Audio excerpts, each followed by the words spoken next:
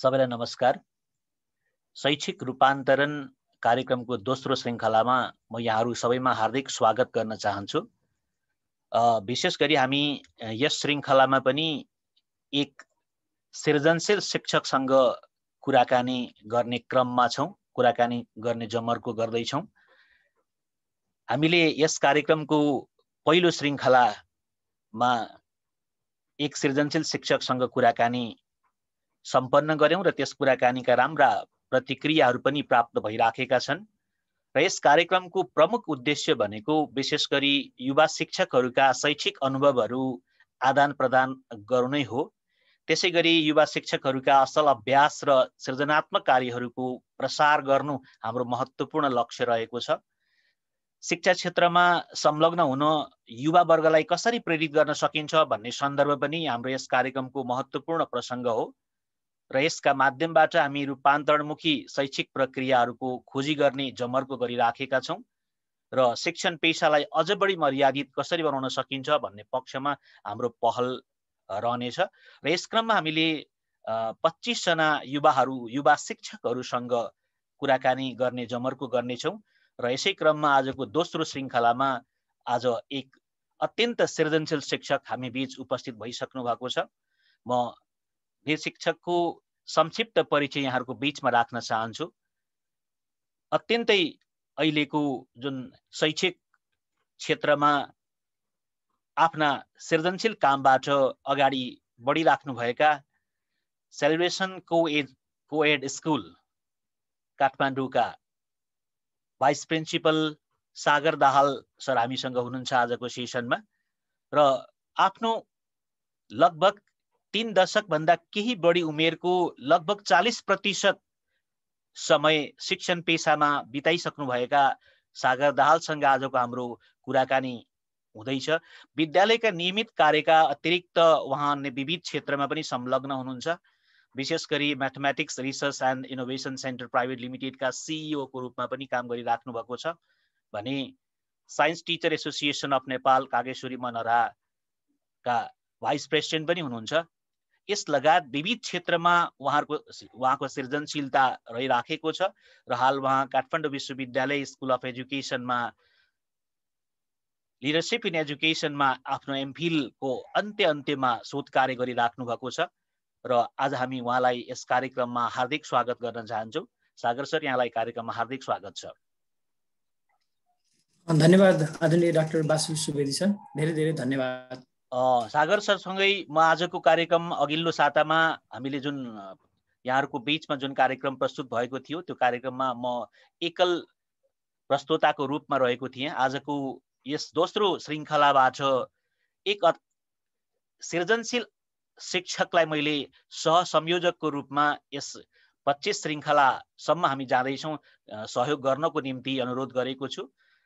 विशेष गरी आफ्नो जीवनका महत्त्वपूर्ण समयहरू जति सृजनशील शिक्षकको रूपमा आफूलाई लगानी गर्दै लगाव त्यस क्षेत्रमा लगाउँदै अहिले काठमाडौँ विश्वविद्यालय स्कुल अफ एजुकेसनमा पिएचडी स्कलरको रूपमा रहनुभएका आदरणीय रमिला सुवेदीज्यू सह संयोजकको रूपमा यस कार्यक्रममा रहनुहुनेछ। विशेष गरी उहाँले प्रोग्रामलाई लिड गर्नुहुनेछ मैले सपोर्ट गर्नेछु उहाँलाई। त्यसैले म यस कार्यक्रममा रमिला सुवेदीज्यूलाई हार्दिक स्वागत गर्न चाहन्छु। धन्यवाद बासु सर। सागर सर धेरै धेरै नमस्कार र स्वागत छ हजुरलाई यो कार्यक्रममा। बासु सर मैले अब कार्यक्रमलाई अगाडि बढाउन चाहे हजुरको अनुमति मागे। एकदमै एकदमै रमला म्याम अब यो कार्यक्रमलाई यहाँले अगाडि बढाउनु हुनको लागि म आग्रह गर्न चाहन्छु। धेरै धेरै धन्यवाद सागर सर। अब हामी छलफल सानो हाम्रो अन्तर्क्रिया सुरुवातमा लागौँ अगाडि बढौँ। बढ्ने क्रममा अहिलेको यो कोभिड नाइन्टिनले जहाँ चाहिँ शिक्षा क्षेत्र सम्पूर्ण क्षेत्रहरू वास्तवमा आक्रान्त बनेका छन् र त्यसमा पनि स्कुल कलेजेसहरूमा हाम्रो यो शिक्षा क्षेत्रमा चाहिँ यसको असर अझ देखिने रूपमा चाहिँ रहेको धेरैतिरबाट सरकारवालाहरूबाट चाहिँ यो कुराहरू आइरहेको छ। यो विषम परिस्थितिमा हजुरले आफ्नो विद्यालयमा शिक्षण सिकाइ एउटा एउटा नेतृत्व हजुरले लिइरहनु भएको छ भाइस प्रिन्सिपलको रूपमा कसरी अगाडि बढाइरहनु भएको छ? त्यहीँबाट सुरु गराउनुहोस् धन्यवाद रमिला सुवेदी म्याम प्रश्नको लागि। निकै नै सान्दर्भिक प्रश्न यहाँले सोध्नु भएको छ। पक्का पनि यो विश्व नै कोरोनाको यो सङ्क्रमणको अवस्थामा अब नेपाल पनि अछुतो हुन नसकेको अवस्थामा शैक्षिक संस्थाहरू टोटल्ली बन्द छन्। अहिले लकडाउनको अवस्थामा घरबाटै अध्ययन भइरहेको अवस्थामा जुन यो आदरणीय डाक्टर वासुप्रसाद सुवेदी सरले सृजनशील युवा शिक्षकसँगको समसामयिक बहस भन्ने कार्यक्रम चलाउनु भएको छ। म हृदयदेखि नै धन्यवाद दिन चाहन्छु।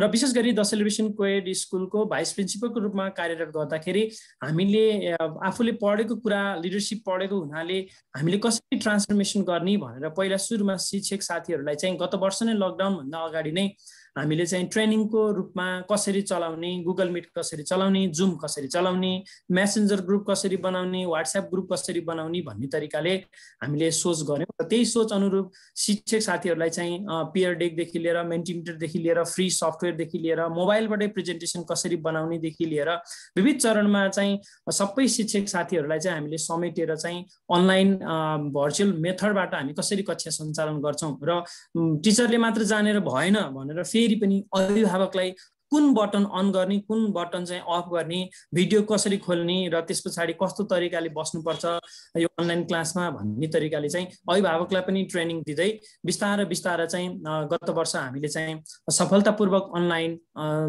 कक्षाहरू सञ्चालन गऱ्यौँ र जेठबाटै अभिभावकज्यूहरू विद्यार्थीहरूको र शिक्षकको सम्मिश्रणले गर्दाखेरि नै हामीले चाहिँ सफल भयौँ र जेठबाटै हामीले चाहिँ विद्यालयमा गत वर्षदेखि फी उठाउन पनि सफल भएका थियौँ म्याम। हजुर हजुर हजुर सागर सर धेरै धेरै धन्यवाद। साह्रै नै राम्रो अभ्यासको कुरा गर्नुभयो हजुरले। कुनै पनि एउटा हामीले प्याराडाइम सिफ्टको कुरा गर्दैछौँ पहिलाको कक्षा कोठामा बिक्षा विद्यालयको हाताभित्र बसेर पठन पाठन हुने जुन एउटा हाम्रो कल्चर थियो त्यो चाहिँ अहिले हामी अब वैकल्पिक माध्यमबाट शिक्षण सिकाइ गर्दै गइरहेको छौँ। र त्यसको लागि सबैभन्दा महत्त्वपूर्ण हजुरले कुरा उठाउनु भयो क्यापासिटी बिल्डिङ सब जबसम्म हामीले त्यो क्षमता अभिवृद्धि गर्न सक्दैनौँ अभिभावकको विद्यार्थीको र शिक्षकको तबसम्म चाहिँ कुनै पनि माध्यमहरूको एप्लिकेसन गरेर कुनै पनि माध्यमहरूलाई उपयोग गरेर अगाडि बढ्न चाहिँ गाह्रो हुन्छ भन्ने कुरा उठाउनु भयो र सँगसँगै क्षमता वृद्धि गरिसके पछाडि आफ्नो शिक्षक साथीहरूलाई र इभन अभिभावकलाई पनि मोटिभेट गरेर उहाँहरूलाई उत्प्रेरणा दिएर चाहिँ आफ्ना शिक्षक शैक्षिक गतिविधिहरू अगाडि बढाएको कुरा गर्नुभयो। साह्रै नै सराहनीय कुरा छ यो। अलिकति हजुरको मैले विगततर्फ जान थालेँ सर हजुर साइन्सको स्टुडेन्ट हुनुहुन्छ। कहाँबाट हजुरलाई चाहिँ यो शिक्षण पेसामा लाग्नुको लागि यो क्षेत्रमा जानुको लागि चाहिँ हजुरलाई कहाँबाट कसरी मोटिभेसन आयो कहाँबाट चाहिँ उत्साह कहाँबाट आयो? हजुरको थोरै यात्राको थोरै कुरा गरिदिनुहोस् न हजुर। धन्यवाद रमिला म्याम प्रश्नको लागि। मलाई लाग्छ यो चाहिँ जब मैले प्लस टू पास गरेँ दुई हजार चौसठी सालको मङ्सिर महिनाबाट चाहिँ जब मैले एमबिबिएसको जाँच दिएँ मैले चाहिँ बायोलोजी लिएर पढेको थिएँ कक्षा बाह्रमा। एमबिबिएसको जाँच दिँदाखेरि एक सय चौतिसबाट चाहिँ मेरिट लिस्ट निकाल्यो। मेरो एक सय बत्तिस आएको थियो। दुई मार्क्सले गर्दाखेरि चाहिँ म चाहिँ त्यो मेरिट लिस्टमा परिनँ। त्यस पछाडि मैले पैसा तिरेर चाहिँ म चाहिँ पढाउन सक्ने खालको पढ्न सक्ने खालको चाहिँ मेरो फ्यामिली ब्याकग्राउन्ड थिएन। जसले गर्दाखेरि चाहिँ अब यसै यो पढाइ क्षेत्रकै सम्बन्धित काम भएको हुनाले गर्दाखेरि अब म चाहिँ शिक्षण पेसामा लाग्छु भनेर चाहिँ जागिरको सिलसिलामा चाहिँ मङ्सिरको दुई हजार चौसठी सालको मङ्सिर महिनामा चाहिँ म सबभन्दा सुरुमा बाल गीताञ्जली स्कुल जसमा चाहिँ मेरो प्रधानध्यापक चाहिँ महेन्द्रराज घिमिरे सर हुनुहुन्थ्यो। उहाँबाट चाहिँ ल त्यसो भए पढाउ न त भन्नुभयो र उहाँले चाहिँ मलाई अटोमेटिकल्ली पहिले सुरुमै चौसठी सालमै बाह्र कक्षा पास गरेको मान्छेलाई कक्षा नौ र दसमा म्याथमेटिक्स र साइन्स पढाउन लगाइदिनु भयो र बिस्तारै बिस्तारै नआएका कुरा सोध्दै सोध्दै सोध्दै मैले चाहिँ यो हरेक बुकको त्यो साइन्स र जुन करिकुलम लगाएको थियो अथवा पाठ्यक्रम जुन विद्यालयमा थियो त्यसलाई चाहिँ हरेक क्षेत्रबाट मैले चाहिँ साइन्स र म्याथमेटिक्सका चाहिँ सबै पार्टहरू सबैको सोल्युसन निकालेर चाहिँ एफओ पेपरमा सल्भ गरेरै देखाइदिन्थेँ र क्लासमा अब तिमीले राम्रोसँग लानुपर्छ भन्ने तरिकाले मलाई चाहिँ उत्प्रेरणा दिनुभयो। त्यस सँगसँगै त्यो पढाउने थाल्न साथ विद्यार्थीको चाहिँ नाइन्टी नाइन र हन्ड्रेड मार्क्स चाहिँ आउन थालिसके पछाडि म आफै बसेको नजिकको स्कुल वेब स्कुल भन्ने थियो। वेब स्कुलले पनि ल तपाईँको दुई पिरियड चाहियो भन्ने तरिका भयो र त्यहाँ पनि मैले म्याथ पढाएँ। र त्यस पछाडि सेलिब्रेसन स्कुलमा पनि पार्ट टाइमको रूपमा मैले पढाउनलाई दुई वर्ष वेबसम्म पढाइसके पछाडि दुई हजार अडसट्ठीबाट चाहिँ निरन्तर रूपमा मैले चाहिँ त्यहाँ पनि पार्ट टाइमको काम गरेँ र विगत स दुई हजार सत्तरी सालबाट जब म पनि आफै अब यो धेरै ठाउँ कुद्नुभन्दा एकै ठाउँमा चाहिँ बसेर राम्रोसँग अगाडि बढ्नुपर्छ भन्ने तरिकाले चाहिँ टिचर चाहिँ एउटा सेयर होल्डरको रूपमा द सेलिब्रेसन स्कुलमा आबद्ध धेरै धेरै धन्यवाद सागर सर सागर सरले आफ्नो एउटा शैक्षिक यात्रालाई अगाडि बढाउने क्रममा जस्तै हजुरले थोरै या मैले हजुरको कुराबाट बुझ्न सकेको कुरा भनेको चाहिँ अहिलेको युवा सम्पूर्ण एउटा ग्रुपलाई चाहिँ हजुरले रिप्रेजेन्ट गर्दै हुनुहुन्छ कसरी चाहिँ एउटा मैले त्यहाँभित्रबाट भेट्न खोजेको कुरा भनेको हजुरको जस्तै एमबिबिएसमा नाम निकाल्न नसकिसके पछाडि सायद हजुरमा कुनै किसिमको फ्रस्ट्रेसन पनि आयो होला त्यतिखेर। त्यहाँबाट अब जति चाहिँ अब हाम्रो अहिलेको युवामा पनि देखिन्छ शिक्षण पेसालाई चाहिँ उहाँले हजुरले जागिर भन्ने शब्द प्रयोग गर्नुभएको थियो। उहाँले सुरुवाती मा आउँदाखेरि चाहिँ जब उहाँको इनिसियल डेज हुन्छ त्यतिखेर आउँदाखेरि चाहिँ यसलाई करियर नै भन्दा पनि यसलाई चाहिँ जागिरको रूपमा बुझेर चाहिँ आइदिनुहुन्छ। र त्यसरी आउनाले गर्दाखेरि चाहिँ जागिर भनेर आइसके पछाडि जबसम्म मैले अर्को खालको अवसर पाउँदिनँ तबसम्म म यहाँ गर्छु नि त। अवसर पाइहाले भने राम्रो अथवा विदेश जाने हजुर जस्तो युवाहरू त धेरै जस्तो विदेश जान खोज्नुहुन्छ विदेश जाने अवसर मिल्यो भने अथवा योभन्दा राम्रो अवसर आयो भने चाहिँ त्यसपछि चाहिँ म यहाँबाट चाहिँ बिस्तारै बाहिरिनेछु भन्ने किसिमको मानसिकता चाहिँ धेरै युवा साथीहरूमा हामीसँग कुराकानी हुँदाखेरि पनि धेरै युवा साथीहरूमा चाहिँ त्यो कुरा देखिन्छ। अब हजुरले त्यतिखेरदेखि अहिलेसम्मको यात्रा गरेर आउनुभयो एउटा शिक्षकको यात्रा सुरु गरेर अहिले हजुर चाहिँ एउटा ठुलो एउटा विद्यालयलाई नेतृत्व गरेर अगाडि बढिरहनु भएको छ। त्यो समयमा कस्ता कस्ता खालका चुनौतीहरू थियो होला नि त हजुरलाई? हजुरलाई पनि त लाग्यो होला नि कुनै समयमा म पनि यहाँबाट बाहिर जान पाए हुन्थ्यो। होइन यो त जागिर त हो। यसमा करियर छ र मैले करियर कसरी बनाउने म त साइन्सको स्टुडेन्ट हो। मैले टिचिङ लर्निङ कसरी गराउने पठन पाठन कसरी गराउन सक्छु भन्ने किसिमका कस्ता चुनौतीहरू आयो होला र त्यस्ता चुनौतीलाई चाहिँ हजुरले कसरी चाहिँ त्यसलाई चाहिँ ट्याकल गरेर त्योसँग चाहिँ फाइट गरेर कसरी अगाडि बढ्नुभयो? एकदम सन्चि एकदमै छोटकारीमा भनिदिनुहोस् न हजुर। धन्यवाद रमिला म्याम। पक्का पनि मानसिकता मैले चाहिँ मास्टर डिग्री साइन्समा फिजिक्समा गरेको हुनाले होइन अब विदेश जानुपर्छ है टेक्सास जाने युएस जाने यस्ता यस्ता कुराहरू चाहिँ साथीहरूको एउटा चर्चा चाहिँ चल्थ्यो तर बिस्तारै काम गर्दै गइसके पछाडि चाहिँ सत्तरी सालमा हो तपाईँहरू जस्तो व्यक्तिहरूले चाहिँ देशै तपाईँहरूले छोड्नुभयो भने त यो कसले चाहिँ थिए नि त? साइन्स पढेको विद्यार्थी साइन्समा केही गर्छु भन्ने विद्यार्थीहरू नै यसरी चाहिँ विदेश जाँदाखेरि अब यो शैक्षिक स्तरलाई अझ उचाल्नको लागि त तपाईँहरू जस्तो युवा टिचर चाहिन्छ भन्ने खालको कुरा चाहिँ एउटा प्रेरणा चाहिँ मैले आदरणीय अहिले वसुधारा सङ्घ नेपालको आचार्य श्री ओसो महेन्द्र हुनुहुन्छ जो चाहिँ एक्जिक्युटिभ डिरेक्टर हुन्छ द सेलिब्रेसन कोएड स्कुलको। उहाँले चाहिँ होइन तपाईँ कहीँ नजानुहोस् बरु तपाईँ जहाँ जहाँ जानु भएको छ त्यो यहीँ राख्नुहोस्। तपाईँ किताब लेख्नुहोस् तपाईँ पब्लिकेसन्सका कामहरू गर्नुहोस् विद्यार्थीलाई हेर्नुहोस् ट्युसन पढाउनुहोस् आय स्रोत त जहाँ गए पनि काम गर्ने हो जसरी पनि भइहाल्छ नि जसले गर्दाखेरि यो जहाँ गर्दै हुनुहुन्छ त्यसलाई बेस्ट बनाउने तरिकाले गर्नुहोस् न भन्ने खालको मोटिभेसन भयो। र एउटा चाहिँ मैले एउटा म आफै युवा भएको कारणले गर्दाखेरि मेरा धेरै साथीहरू चाहिँ विदेशमा हुनुहुन्छ। र मैले पनि के पाएँ भन्दाखेरि होइन हामीले राम्रोसँग मेहनत गरियो राम्रोसँग कुनै पनि संस्थालाई अगाडि बढाउँछु भनेर लागेपछि होस्टेलमा हैसियत गर्ने मान्छे भइसके पछाडि पक्का पनि हामीले ट्रान्सफर्मेसन गर्न सक्छौँ र राम्रो हुँदो रहेछ भन्ने चाहिँ मैले महसुस गर्न पाएँ रमिला म्याम। धेरै धेरै धन्यवाद सागर सर। अर्को एउटा कुरा गर्न चाहे हजुरलाई। हामीले यो निजी क्षेत्रमा शिक्षण क्षेत्रमा आइ आइराख्दाखेरि पनि यो वास्तवमा दुईवटा कुराहरू छन् यसका पाठ एकपट्टि भनेको चाहिँ हाम्रो जहिले हामी जब अहिले हामी संस्थागत विद्यालय अथवा निजी क्षेत्रको कुरा गर्छौँ र एकपट्टि चाहिँ हाम्रो सामुदायिक विद्यालयको कुरा छ। हजुरको युवाहरूमा पनि एउटा काइन्ड अफ जब सिक्युरिटीको कुरा आउँछ। होइन? हाम्रो ने निजी क्षेत्रमा काम गर्न आइसके पछाडि भोलिको मेरो भविष्य के त? होइन? त्यो किसिमको फ्रस्ट्रेसन चाहिँ अहिले धेरै युवा साथीहरूमा जसले चाहिँ शिक्षण पेसा तपाईँ किन नगर्ने? तपाईँमा त्यो क्षमता छ नि त भन्दाखेरि उहाँहरूले चाहिँ मेरो भोलिको सेक्युरिटी के हो त? भन्ने किसिमको कुरा गर्नुहुन्छ। र सँगसँगै हामीले एकदमै यो चाहिँ एकदमै विवादास्पद कुरा के छ भने हाम्रो अझै पनि संस्थागत विद्यालयलाई हेर्ने दृष्टिकोण र सामुदायिक विद्यालयलाई हेरिने दृष्टिकोण। त्यो चाहिँ अलग छ। होइन यो अवस्थामा एउटा संस्थागत विद्यालयको शिक्षक भएको नाताले चाहिँ हजुरलाई कस्ता कस्ता किसिमका चुनौतीहरू आयो होलान् र त्यसमा त्योसँग अभियसली हजुरले कोप गर्दै गएर आज एउटा रोल मोडलको रूपमा हामी सबै माझ उभिनु भएको छ। होइन कसरी चाहिँ हजुरले आफूलाई रोल मोडलको रूपमा चाहिँ उभ्याउनु भयो? हजुरले गर्नुभएका राम्रा शैक्षिक अभ्यासहरू केही हजुरले बुदागत रूपमा भनिदिनुहोस् न। धन्यवाद रमिला म्याम। निकै नै राम्रो प्रश्न सोध्नु भएको छ म्यामले। फेरि पनि प्रश्नको लागि धन्यवाद।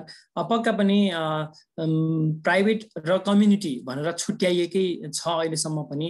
र मलाई लाग्छ म अहिले यहीँबाट पनि जुन एउटा प्लेटफर्म यो सिटिजनसिप शिक्षकको एउटा प्लेटफर्म डाक्टर बासु सुवेदी सरले बनाइनु भएको छ यहाँबाट पनि म के भन्न चाहन्छु भने पक्का पनि हामी प्राइभेट खुलेको कारण चाहिँ सामुदायिक विद्यालयले गर्दा नै हो। यदि हामी चाहिँ सामुदायिकमा सबैजनाको ट्रस्ट र सबैजनाले त्यहीँ पढाइदिने हो भने प्राइभेट कुनै पनि अवस्थामा टिक्दैन थियो जस्तो लाग्छ। र पक्का पनि हामीले वाट डिफरेन्स भन्ने चाहिँ दिनै पर्छ जस्तो लाग्छ। कारण हामीले द सेलिब्रेसन कोएड स्कुलमा चाहिँ एउटा पढाउने मात्र होइन। लेखाउने मात्र होइन भन्दै हामीले चाहिँ जो विद्यार्थी सेलिब्रेसनमा भर्ना हुन्छ अथवा ऊ चाहिँ पढ्नको लागि इनरोल भइसके पछाडि चाहिँ उसका अब अहिले डान्स जहाँ पनि गराउँछ म्युजिक जहाँ पनि छ तर हामीले चाहिँ कस्तो तरिकाको फोकस गरेका छौँ भने हाम्रो सोल नै कन्सर्न नै के छ भने ध्यान ज्ञान र विज्ञानलाई हामीले पहिलो प्राथमिकता राखेका छौँ। हरेक क्लास चाहिँ ध्यान मेथडबाट चल्छ हाम्रो मेडिटेसन दुई मिनटको मेडिटेसनबाट कक्षा कोठाहरू सुचारू हुन्छ। हामीले हरेक क्लासमा जाने एउटा टिचर्स नै कस्तो बनाएका छौँ भने प्रोफेसनल रूपमा हामीले विकसित गरेका छौँ। सबै शिक्षक साथीहरूलाई अब आजकै दिनमा कुरा गर्ने हो भने भोलि र पर्सि हाम्रो दुई दिनको ट्रेनिङ कार्यक्रम छ। कसले ट्रेनिङ गर्ने भने हाम्रो बाहिरको मान्छे कोही छैन भित्रकै मान्छे। आठवटा टाइटलमा कसैले गुगल स्लाइडमा कसैले पियर डेकमा कसैले मेन्टिमिटरमा कसैले लिनक्स सफ्टवेयरको बारेमा यसरी चाहिँ कसैले नेपाली टाइपिङ कसैले म्याथ टाइपिङ यसरी चाहिँ सबै कुराहरू चाहिँ टिचरलाई सिकाउने एउटा पद्धति बनाएका छौँ। एउटा चाहिँ विद्यार्थीहरूमा चाहिँ कन्टिन्युस एसेसमेन्ट सिस्टमलाई एप्लाई गरेका छौँ जसमा हामीले विद्यार्थीलाई मात्र पार्टिसिपेट गराइदिएनौँ अभिभावकलाई पनि मूल्याङ्कनको दायरामा राखेका छौँ। अभिभावक आफै उपस्थित भएर अथवा अभिभावकले चाहिँ तपाईँको बाबु नानीले कति मार्क्स पाउनुपर्छ तपाईँलाई किन लाग्छ यो मार्क्स किन? के के आधारमा विद्यार्थीलाई मार्क्स दिनुपर्छ भन्ने तरिकाको एउटा मूल्याङ्कन पनि हामीले बनाएका छौँ भने रुब्रिक्सको मोडल डेभलप गरेका छौँ। हरेक शिक्षकले चाहिँ पढाउँदाखेरि यो यो गरेमा यसरी यो यो गरेमा यसरी भन्ने तरिकाको कन्टिन्युस एसेसमेन्ट सिस्टम छ र यो प्रेजेन्टेसन विद्यार्थीहरूको चाहिँ पठन पाठनमा चाहिँ अन्तर्राष्ट्रिय स्कुल अवार्ड विनर पनि हामीले दुईचोटि पाइसकेका छौँ दुई हजार तेह्रदेखि सोह्र र दुई हजार सत्रदेखि दुई हजार बिससम्म र अहिले यो कोभिड नाइन्टिनमा विद्यालय बन्द भएको अवस्थामा पनि दुई हजार बाइसदेखि दुई हजार पच्चिसको आइएसए जर्नी रनिङ भइरहेको छ। जे बेला बेलामा हरेक स्कुल जुनसित हाम्रो पार्टनर स्कुलको रूपमा विदेश अथवा स्वदेशका विद्यालयहरूमा कस्तो खालको टिचिङ करिकुलम भयो कल्चर एक्सचेन्जका कुरा कस्ता भए विद्यार्थीहरूको पार्टिसिपेसन कस्तो भयो भन्ने तरिकाको इन्टिग्रेटेड करिकुलमलाई नै मिट गर्ने तरिकाको इन्टर एक्सचेन्ज प्रोग्रामहरू राखेका छौँ। नेसनल इन्टरनेसनल भिजिट विद्यार्थीहरूको हुन्छ। यी विविध कारण हामी अलिकति फरक छौँ म्याम। हजुर सागर सर धेरै धेरै राम्रो अभ्यासहरूको कुरा गर्नुभयो। अभिभावकलाई हाम्रो बालबालिकाको शैक्षिक मूल्याङ्कनमा चाहिँ उहाँहरूलाई पनि हामीले चाहिँ सामेल गराउनुपर्छ भन्ने एकदमै राम्रो अभ्यासको कुरा गर्नुभयो। त्यसै गरेर हजुरले कुनै पनि पाठ्यक्रम शिक्षण र सिकाइ भनेको चाहिँ आइसोलेटेड छैन कि एकीकृत गरेर अगाडि बढाउन सकियो भने विद्यार्थीको पनि विश्वास जित्न सकिने र अभिभावकको पनि विश्वास जित्न सकिने कुरा गर्नुभयो। र सँगसँगै पेरेन्ट्सको मोटिभेसनको कुरा गर्नुभयो हजुरले जहाँ चाहिँ अहिले सबैभन्दा देखिएको समस्या भनेको चाहिँ अभिभावकसँग पहिलो कुरा समय र अर्को कुरा भनेको चाहिँ उहाँहरूले चाहिँ के आधारमा के कारणले कसरी चाहिँ एउटा विद्यालयहरूले चाहिँ अभिभावकलाई आफ्नो स्कुलमा भइरहेका शैक्षिक गतिविधिहरूमा चाहिँ संलग्न गराउने भन्ने चाहिँ एउटा ठुलो चुनौतीको रूपमा रहेको छ जस्तो लाग्छ। र यसमा अर्को हजुरले चाहिँ एउटा स्पिरिचुअलिटीको कुरा गर्नुभयो आफैलाई चिन्ने अध्यात्मको कुरा गर्नुभयो जुन चाहिँ वास्तवमै राम्रो प्रयास लाग्यो। हजुरलाई यो सबै कामहरू गरिरहँदाखेरि एउटा टिममा काम गर्नुपर्ने हुन्छ। हजुरको स्कुलको लिडर बनेर हरेक खालका टिचिङ स्टाफको नन टिचिङ स्टाफको पेरेन्ट्सको स्टुडेन्टको सबै समूहलाई समेटेर काम गर्नु कतिको सजिलो छ? होइन कतिको त्यसमा चुनौती छन्? र चुनौती भन्दा पनि हजुरले कुन चाहिँ माध्यमबाट कस्ता कस्ता उपायहरू अप्नाएर अथवा कस्ता अभ्यासद्वारा चाहिँ एउटा टिम बिल्डिङ गराउनु भएको छ? एकदमै संक्षिप्तमा यो भनिदिनुहोस् न thank you ma'am thank you very much obviously संस्थामा काम गर्दा अहिले हामीसँग पैँसठीजना चाहिँ कार्यरत शिक्षक साथीहरू हुनुहुन्छ स्टाफसहित जसमा अहिले पैँतालिसजना चाहिँ अनलाइन क्लासमा लिइराख्नु भएको छ भने नन टिचिङ स्टाफ पन्ध्रजना हुनुहुन्छ।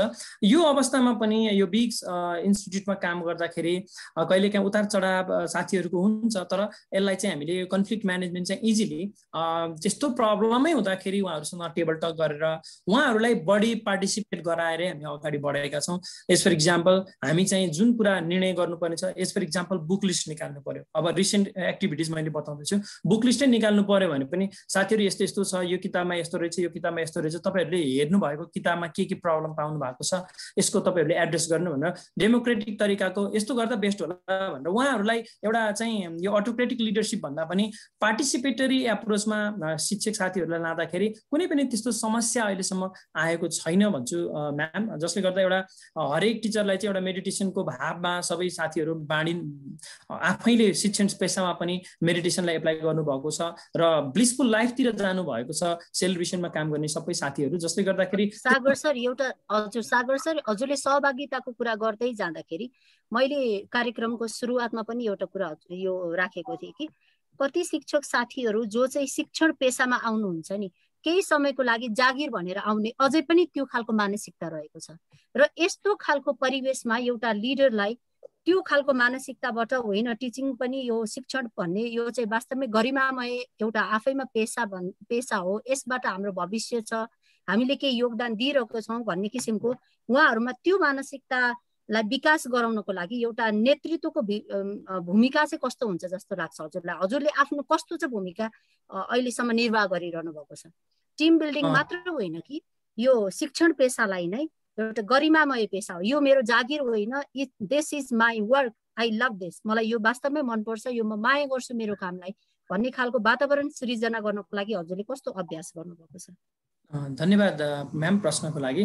पक्का पनि धेरै चुनौतीहरू आउँछन् र त्यसलाई समाधान पनि गर्दै जानुपर्ने हुन्छ।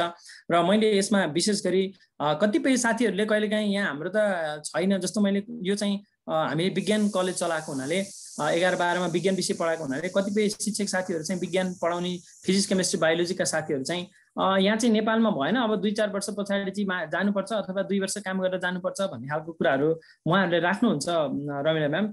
र मैले के भन्ने गर्छु भने हामीले मेहनत जहाँ गए पनि विश्वमा जहाँसुकै गए पनि मेहनत नगरिकन हुँदैन।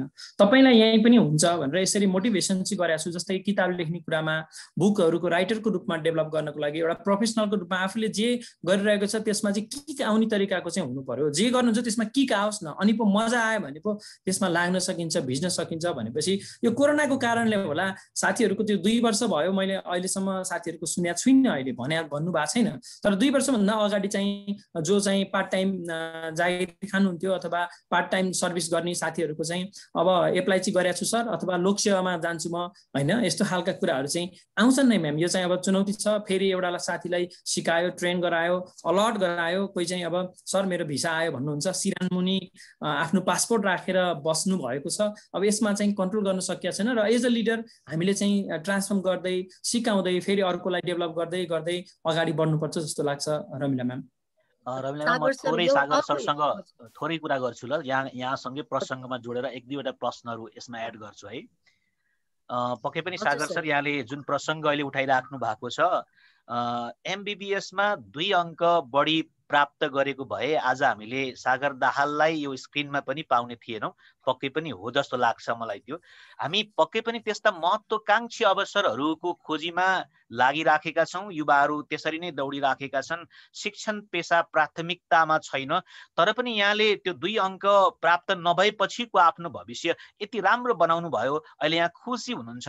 यहाँका अभिव्यक्तिहरू हेर्छु। म एकदम यहाँले यो क्षेत्रबाट खुसी प्राप्त गरिराख्नु भएको छ। बालबालिकाहरूलाई खुसी बाँडिराख्नु भएको छ। र यहाँको बायो नोट गरि रहँदा मैले यहाँले गर्नुभएका सृजनशील कार्यहरूको नोटहरू पढिराख्दा भन्नुभएको छ मैले हामीले उनान्सय प्रतिशत विद्यार्थी विद्यार्थीहरू यो कोभिडको यो कन्टेक्समा अहिले अनलाइन एजुकेसनमा ल्याउन सकिराखेका छौँ। अभिभावकहरूलाई हरेक महिना मिटिङमा राखेर उहाँहरूलाई चित्त बुझाउन सकेका छौँ भन्ने प्रसङ्गहरू उठाइराख्नु भएको छ। यो सन्दर्भमा यहाँ जस्तै यो जुन शिक्षण पेसालाई पहिलो चोइस बनाउनको लागि। दोस्रो तेस्रो पछि गएर राम्रो हुन्छ त अलग कुरा रह्यो राम्रो त हुँदो रहेछ नि त प्रमाणित त यहाँले गरिसक्नु भयो यो पेसालाई नै पहिलो चोइस बनाउनको निम्ति हामीले के पहल गर्नु पर्ला यहाँले के गर्नु पर्ला हामीले के गर्नु पर्ला वा सरकारले के गर्नु पर्ला यो पक्षमा यहाँले के फिलिङ गरिराख्नु भएको छ त्यो जानकारी पाउन। निकै नै राम्रो प्रश्न आदरणीय डाक्टर बासु सुवेदी सरले सोध्नुभयो। धन्यवाद सर प्रश्नको लागि। पक्का पनि हामीले पहिला सुरुमा त राज्यले हामी शिक्षकहरूलाई चाहिँ यो यो गरेर यस्तो यस्तो हुन्छ भन्ने तरिकाको छुट्याइदियो भने अझ राम्रो हुन्छ। अहिले पनि भर्खर जुन बजेट पास भयो निजामती कर्मचारी र शिक्षकको लागि फरक फरक तरिकाको निकालिदिएको छ त्यहाँ नि बायस देखिएको छ। जसले गर्दाखेरि भएर काम गरिसके पछाडि त्यो शिक्षकलाई चाहिँ अथवा अथवा ऊ रिटायर भएर काम गरिसके पछाडि उसको चाहिँ यस्तो उसले एउटा ह्यान्डसम चेक लिएर जाने तरिकाको व्यवस्था गरिदियो भने राज्यले पनि शिक्षकलाई एउटा प्रोत्साहन हुन्छ। अँ है यो शिक्षण पेसामा यस्तो यस्तो रहेछ। र एउटा चाहिँ राष्ट्र प्रमुखहरूले चाहिँ अथवा शिक्षा मन्त्रालयका डिपार्टमेन्ट हेड अथवा शिक्षा मन्त्रीद्वारा यो यो गरेको क्राइटेरियामा चाहिँ तपाईँ सम्मानित हुनुहुनेछ भन्ने खालका कुराहरू आइदियो भने पनि अलिकति टिचरलाई मोटिभेसन हुन्छ जस्तो लाग्छ। र एउटा चाहिँ समाज परिवर्तन गर्ने व्यक्ति भनेको को त भन्दा शिक्षक हो। किन? शिक्षकले पहिला विद्यार्थीलाई सिकाउँछ। विद्यार्थीले आफूले जानेका कुरा अभिभावकलाई सिकाउँछ। अभिभावकले सिकाएपछि त्यो समाजलाई त्यो आफू बसेको क्षेत्रलाई सिकाइसके पछाडि पक्का पनि चेन्जेसहरू आउन सक्छ जस्तो लाग्छ।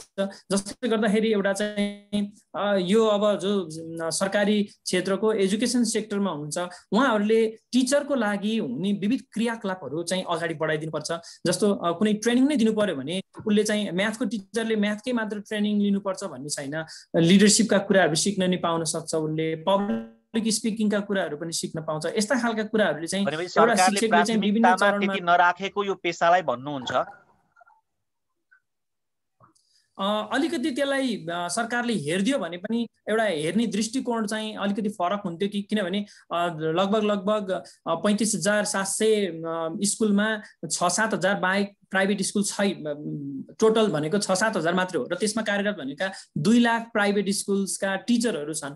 र ती टिचरहरूले पनि अघि रमिला म्यामले पनि बहुत सुन्दर तरिकाको प्रश्न सोध्नु भएको थियो पक्का पनि त्यसमा के काउने तरिकाका कुराहरू के के हुन् त? सोसाइटीले पनि शिक्षकलाई कुन दर्जा दिने? अहिले त सबै वार्ड नगरपालिका छ। नगरपालिकाले शिक्षकलाई के के गरी प्रोत्साहन गर्ने? कुन कुन कुराहरूमा चाहिँ समाजमा अगाडि बढाउन सक्छ? यी विविध कुराहरूमा र राष्ट्रले चाहिँ तपाईँहरूलाई चाहिँ यति वर्ष काम गरेर यस्तो यस्तो अङ्क ल्याउनु भयो भने तपाईँले ह्यान्डसप चेक पाउनुहुन्छ भन्ने खालका योजनाहरू परिकल्पनाहरू आइदियो भने पक्का पनि टिचर्समा बहुत इन्ट्रेस्ट एकदमै राम्रो पक्ष सरकार पक्षबाट समाजको पक्षबाट पनि प्रोत्साहन गर्नुपर्छ भन्ने सन्दर्भ यहाँले जोड्नु भयो र हामीले हाम्रो पक्षबाट चाहिँ के गर्न सक्छौँ? यो पेसालाई प्राथमिकतामा युवाहरूको प्राथमिकतामा पार्नको निम्ति यो पेसामा रमाउनको निम्ति हाम्रो पक्षबाट केही पहलहरू गर्नुपर्ने खाँचो महसुस गर्नु भएको छ। शिक्षकको पक्षबाट of course sir thank you very much sir र मैले नगरे कसले गर्ने भन्ने फिलिङ्स चाहिँ हामीले ल्यायौँ भने पक्का पनि हामीले गर्न सक्छौँ। एक न एक दिन त म म त्यहाँ पुगिहाल्छु नि।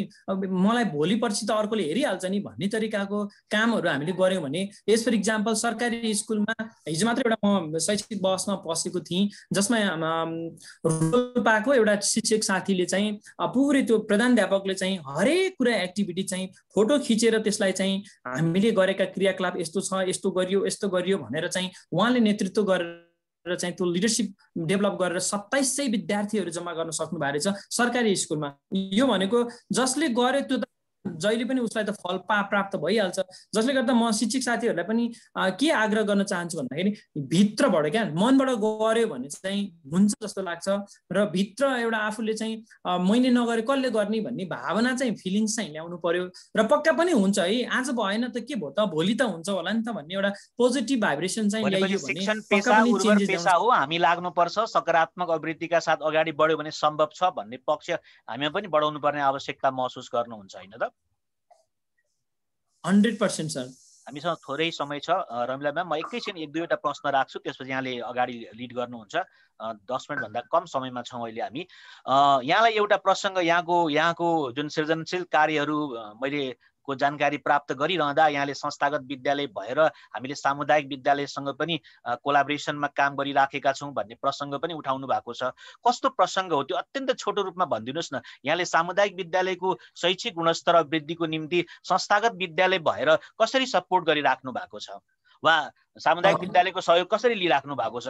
दोहोरो सहयोगको आदान प्रदान कसरी भइराखेको छ?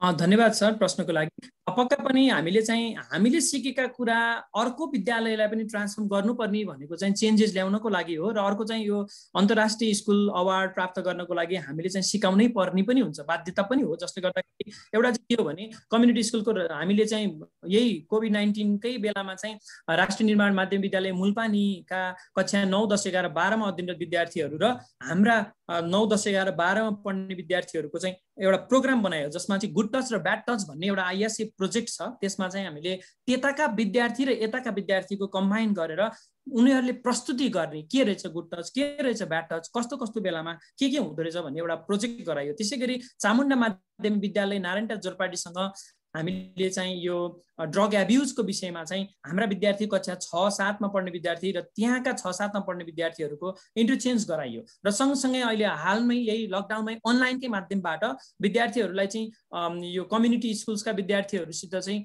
कम्युनिकेसन्स कस्तो कस्तो भइरहेको छ तपाईँहरूको प्रोजेक्ट कहाँ पुगिरहेको छ भन्दाखेरि त्यहाँको स्कुलको प्रतिनिधित्व गर्ने आदरणीय प्रधानध्यापकज्यू प्रसाई सरदेखि लिएर सम्पूर्णको एउटा टिमै लागेको छ र हामीले चाह्यौँ भने सरकारी विद्यालयमा अध्ययनरत गर्ने विद्यार्थीहरूलाई पनि होस्टेलमा हैसियत दियो भने चाहिँ उहाँहरूले पनि बहुत उत्कृष्ट राम्रो प्रसङ्ग उठाउनु भयो। एउटा अर्को प्रसङ्ग यहाँले अघि उनान्से प्रतिशत अनलाइनमा हाम्रो अप्रोच छ भनिराख्नु भएको छ। कतिपय सामुदायिक विद्यालयहरू हामीले अनलाइनमा अप्रोच बढाउन सकेनौँ। अनलाइन कक्षा सञ्चालन गर्न सकेनौँ भन्ने किसिमका गुनासोहरू गरिराख्नु भएको छ। यहाँहरूकै एरियाको क्षेत्रमा म कुरा गर्छु जहाँ यहाँको विद्यालय चलिराखेको छ नजिकको अर्को विद्यालय त्यसो भनिराखेको छ। यो सन्दर्भमा यहाँले के के उपायहरू अप्नाउनु भयो ताकि यहाँको त्यति धेरै विद्यार्थीहरू अनलाइन एजुकेसनमा सहभागी हुन सक्नु भएको छ? त्यस्ता पक्षहरूमा भोलिको दिनमा उहाँहरूसँग सेयरिङ गर्ने त्यस्ता कार्यक्रमहरू बन्नु सहकार्य हुनु कतिको आवश्यकता महसुस गर्नुहुन्छ? एकदमै गर्नुपर्ने जस्तो लाग्छ सर। अब हामीले गरेका अभ्यासहरू चाहिँ के के हुन् भन्दाखेरि पहिला सुरुमा हामीले अभिभावकलाई फोन मार्फतबाट यो यो लिङ्कबाट क्लास हुन्छ भनेर जानकारी गरायौँ। त्यस पछाडि एब्सेन्ट हुने विद्यार्थीहरूलाई तुरुन्त फोन जाने एउटा सिस्टम डेभलप गरिदियौँ र पन्ध्र पन्ध्र दिनमा चाहिँ विद्यार्थीसित मिटिङ उनीहरूले गरेका क्रियाकलाप के के छन् त्यसको चाहिँ भौतिक रूपमा उपस्थित भएर बुझाउने खालको थियो गत वर्ष यो वर्ष हामीले गरेका छैनौँ र महिनै पछि चाहिँ अभिभावकसँग र अभिभावकलाई बोल्न दिएका छौँ। कस्तो क्लास भएको छ। के पुगेको छैन? एकदम यो पार्ट चाहिँ यो पार्ट चाहिँ कस्तो कुरा उठ्न सक्दो रहेछ भन्दा यहाँको अभिभावकको जुन एउटा स्तर र सामुदायिक विद्यालयमा अध्ययन गर्ने विद्यार्थीहरूका अभिभावकको स्तरको फरकले पनि त्यो कुरा हुन सकेको हुन सक्छ। त्यो पक्षलाई मिनिमाइज गर्नको लागि के गर्न सकिन्छ? त्यस्ता कुनै सहयोगका बुद्धिहरू छन् कि भन्ने प्रसङ्ग हो। यहाँ यो प्रसङ्गमा हामी पछि पनि फेरि जान्छौँ। रमिला म्याम यहाँसँग रहेका थप प्रश्नहरू अत्यन्त संक्षिप्तमा राख्दै इन्डिङपट्टि लाग्नुपर्ने छ यहाँलाई मैले रिक्वेस्ट गर्छु। रमिला म्याम प्लिज हजुर हजुर। धेरै धेरै धन्यवाद सर। र मैले धेरै प्रश्नहरू छैनन् सर। हामी अरू अरू श्रृङ्खलामा पनि फेरि हजुरसँग अन्तर्क्रिया गर्ने नै छौँ। एउटा प्रश्न चाहिँ मैले हजुरलाई के सोध्न चाहेँ भने पहिला र अहिलेको परिवेशमा होइन हजुरको एउटा शिक्षकलाई हेरिने दृष्टिकोणमा के फरक छ? र हजुरले हजुर त विज्ञानबाट आउनुभयो नि एउटा विज्ञान र गणितको शिक्षक हुनु र एउटा शिक्षक मात्रै हुनुमा चाहिँ त्यसमा के भिन्नताहरू छन् होला त? एउटा शिक्षक हुनु र एउटा विज्ञान शिक्षक हुनुमा। त्यसले हजुरलाई कतिको सहज बनायो असहज बनायो? र अहिले र पहिलाको परिवेश दृष्टिकोण के कस्तो छ होला? त्यति एकदमै छोटकरीमा राखिदिनुहोस्। हामीसँग एकदमै कम समय छ। हजुर। Thank you ma'am thank you so much पक्का पनि जेनरल्ली हामीले देख्दाखेरि नि हामीलाई पढाउँदाखेरि पनि हाम्रा शिक्षकहरू चाहिँ म्याथ र साइन्सका टिचर चाहिँ अलिकति बडा मेहनत गर्ने र अलिक कडा हुन्छन् भन्ने खालको एउटा वातावरण बनाइदिएको थियो। जसले गर्दाखेरि हामीले पनि म्याथ म आफै चाहिँ म्याथको शिक्षक र एउटा अहिले चाहिँ लिडरको रूपमा आफै पनि विज्ञान र गणित पढाइरहेको अवस्थामा चाहिँ पार्टिसिपेटरी तरिकाको चाहिँ शिक्षकहरू बनाउनु पर्ने रहेछ भन्ने जस्तो लाग्छ मलाई। र एउटा कुरा चाहिँ एउटा नर्मल शिक्षकमा हुनुपर्ने कुरा र लिडरसिप भइसके पछाडिको शिक्षकमा हुनुपर्ने कुरा चाहिँ त्यो नर्मल शिक्षक म पनि नर्मल शिक्षक नै हो। मैले गरेका क्रियाकलापबाट म चाहिँ माथि बिस्तार बिस्तार आएको हुँ जसले गर्दा मलाई लाग्छ यसमा चाहिँ त्यो त शिक्षक मात्र होस् त लिडर मात्र हो भन्ने कुरा आउँदैन। काम र सिपले गर्ने हो जस्तो लाग्छ। धेरै धेरै धन्यवाद सागर सर। सागर सरले चाहिँ हामी एउटा टिचर पनि आफैमा लिडर हो र लिडर पनि आफैमा टिचर हो। इन्स्ट्रक्सनल लिडरसिप शैक्षिक नेतृत्व चाहिँ हामी दुवै पक्षमा हुनुपर्छ भन्ने कुरा गर्नुभयो। हामीसँग दुई मिनट भन्दा पनि कम समय छ। त्यसकारण एकदमै छोटो दुई शब्ददेखि एकदमै छोटकरीमा अहिलेको युवा साथीहरूलाई हजुर कस्तो मेसेज दिन चाहनुहुन्छ? के सन्देश दिन चाहनुहुन्छ हजुर? यो जसले चाहिँ शिक्षामा आउन हिचकिचाइरहनु भएको छ एकदमै छोटकरीमा। विशेष गरी यो प्रोफेसनमा आउनको लागि कसरी कसरी यहाँले मोटिभेट गर्नुहुन्छ युवा साथीहरूलाई? Thank you sir. यो चाहिँ आफूले पढेको कुरा ट्रान्सफर्म गर्ने सबभन्दा ठुलो र सबभन्दा बेस्ट मेथड भनेको चाहिँ एजुकेसन सेक्टर नै हो। आफूले पढेका कुरा चेन्जेस ल्याउनको लागि र अध्ययन अगाडि बढाउनको लागि र आफू अपडेट हुनको लागि शिक्षण पेसामै आउँदाखेरि बेस्ट हुन्छ जस्तो लाग्छ। आज म एमबिबिएस डक्टर भएको त्यो प्लेटफर्म पनि पाउँदैन थियो होला। र जसले गर्दाखेरि शिक्षक बन्दाखेरिका जुन अब स्ट्राइकहरू हुँदाखेरि अनलाइन बसेर घर बसेरै आज हामी मजाले अगाडि बढ्न सकेका छौँ जसले गर्दा शिक्षक साथीहरूलाई चाहिँ यो क्षेत्र बहुत सुन्दर छ र यसमा धेरै काम गर्न सकिन्छ। मन वचन र कर्म यदि शिक्षणमा लागियो भने पक्का पनि माथि छ भगवान् छ भन्ने सोच्ने तरिकाले पोजिटिभ भाइब्रेसनका साथ अगाडि बढ्यो हजुर सागर सर। हजुरले चाहिँ अहिले आफूलाई आफूले जानेका कुराहरूलाई बुझेका कुरालाई सबैभन्दा सुन्दर तरिकाले प्रस्तुत गर्न सकिने र समाजलाई परिवर्तन गर्न सकिने परिवार परिमार्जन गर्न सक्ने र रूपान्तरण गर्न सक्ने पेसा नै शिक्षण हो भन्नुभयो धेरै धेरै धन्यवाद सागर सर हजुरको गरिमामय उपस्थितिको लागि र निकै नै राम्रा अभ्यासहरू हजुरले यहाँ प्रस्तुत गरेर जानुभयो। हामी आउँदा श्रृङ्खलाहरूमा पनि हजुरसँग भेट्ने नै छौँ। हजुरलाई आउने दिनको लागि धेरै धेरै शुभकामना र यो अभ्यास यहाँ हजुरले एकदमै एकदमै यहाँले यहाँले सागर सरसँग जुन किसिमको प्रश्नहरूको माध्यमबाट खोतल्ने प्रयास गर्नुभयो यहाँलाई धेरै धेरै आभार व्यक्त गर्न चाहन्छु र यस यस कार्यक्रम मार्फत पक्कै पनि हाम्रो युवा साथीहरूलाई शिक्षण पेसा आफैमा रमाइलो पेसा हो अत्यन्तै सृजनशील पेसा हो। यो पेसामा जति आनन्द हुन त हरेक पेसामा आनन्द हुन् आउँछ नै तर त्योभन्दा बढी आनन्द यो पेसाबाट प्राप्त गर्न सकिन्छ भन्ने सन्देश सागर सरले प्रसारण गर्नुभएको छ। सागर सरलाई हार्दिक धन्यवाद ज्ञापन गर्न चाहन्छु। सँगै रमिला म्याम यहाँले जुन यो कार्यक्रमलाई यो राम्रो बनाउनको निम्ति आफ्ना कुराहरू सागर सरका कुराहरू खोतल्नको निम्ति जुन सहयोग गर्नुभयो यसप्रति पनि आभार